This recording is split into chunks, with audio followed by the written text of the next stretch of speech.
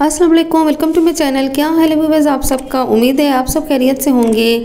आप लोगों ने ये वीडियो क्लिप देख के गैस करना है और आसिम जफ़ा की तरफ़ से भी कहा गया है कि गैस करेंगे हो जुमना जैदी के साथ कौन है? मतलब अकबर या Wahaj Ali behind the scene जो है, आप देख सकते हैं।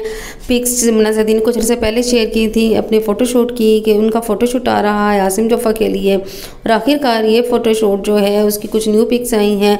और ट्वेंटी सिक्स को ये बाकायदा लॉन्चिंग हो जाएगी इसकी, और आप लोग जो है फुल इसका फ़ोटोशूट का भी हिस्सा देख सकेंगे।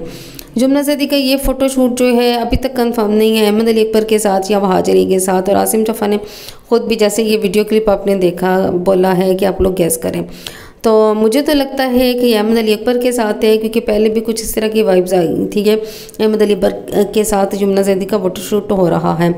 न्यू क्लिप आया है, उसमें जो पिक्स आई हैं और न्यू क्लिप में देखा जा सकता है कि कबूतर है और उसने जो है लेटर उठाया हुआ है। बड़े ज़बरदस्त किस्म का जो है सीन लग रहा है।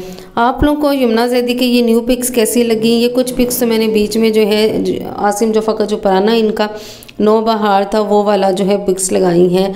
तो आप लोगों को जो न्यू पिक्स हैं, वो कैसी लगी? यमुना जैदी बहुत ही खूबसूरत लग रही हैं इसमें स्पेशली जिस पिक में जो है पीछे वो मुड़ के देख रही हैं।